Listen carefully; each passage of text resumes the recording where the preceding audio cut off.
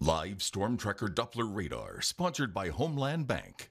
And now, exclusive Storm Tracker Doppler weather with meteorologist Chase Ward. Overall, it's not too bad this Tuesday morning. Temperatures have fallen to lower 70s and dew points have actually dropped into the 60s in a couple spots across the Mississippi Delta and parts of southeast Arkansas. And we are starting off mostly clear. However, if you got anything to do outside, work or anything like that, do it this morning because this is the best point of the day because we are expecting the excessive peak to continue for this afternoon. Here's a look at Doppler radar at 649. The only thing the radar is picking up is just some moisture content. That's a shade of green that we're seeing. Looking in downtown El Dorado. The sun is out, skies are mainly clear, and like I said, it doesn't feel too bad in South Arkansas. Right now at the O'Dea Airport, they're at 72 degrees, dew points at 69, and winds have been calm just out of the east. For outdoor forecast this morning will probably be the best time of the day because we'll be mid 70s, reaching into the 80s by 10 o'clock, and then by lunchtime at noon, we will be in the lower 90s, pushing into the upper 90s with a heat index well into triple digits for later today. Now, further off to the west, Shreveport, they're at 80 81, 73 in Ruston. Monroe's holding out 74. Greenville still at 69, 71 up in Monticello. And you can see dew points, a little bit more dry air in place across Mississippi Delta and sections southeast Arkansas. And even parts of northeast Louisiana, we got dew points upper 60s. You can kind of think that northeasterly flow has been helping us uh, kind of drop dew points off a little bit. Low pressure down to our south, area of high pressure to the north, which has been aiding in that type of circular flow.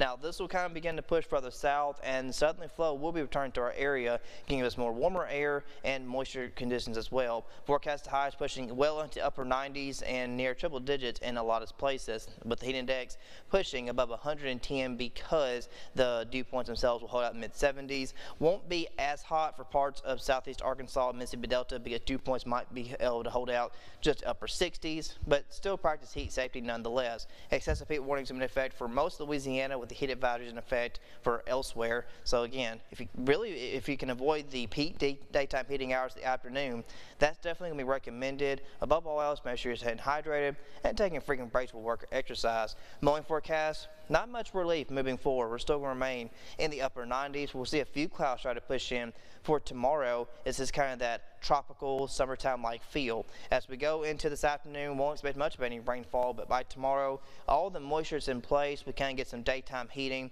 and there could be a chance for a pop-up shower or two. But we do have a cold front pushing in out of the northwest, but it's not going to be making it any far south. Doubt it's going to make any far south of the Ouachita Mountains of Arkansas. So it's going to stay well up to the north. We really won't expect any rain chances until at least later on in the week with our next frontal system. So until then, it's going to be very hot and humid winds to begin to shift more suddenly. Still going to remain relatively calm though. It's not going to be breezy or anything like that, which actually might make it feel just a little bit better, but it still just be more stagnant nonetheless. For tomorrow, possible pop-up shower, mainly in Mississippi Delta and sections of southeast Arkansas. Rain chance overall kind of kept at just 10% to account for that pop-up hit or miss shower. Now, tracking the tropics, we got Hurricane Beryl uh, currently at a Category 5 hurricane, reaching max winds of 165 miles per hour. Now, that is expected to push further into the western Caribbean near Jamaica, and that will push further towards the Yucatan Peninsula. As some models are indicating it might be uh, weakening by the time it makes landfall in Mexico later on in the week. Bay high about 90 degrees this afternoon. Tonight will fall to the upper 70s, very warm and muggy, and then no relief through the holiday on Thursday. And then this weekend, there might be a chance for some relief with our next system as we see return to more patchy showers and thunderstorms. So, taking right back, watching NBC 10 News Today.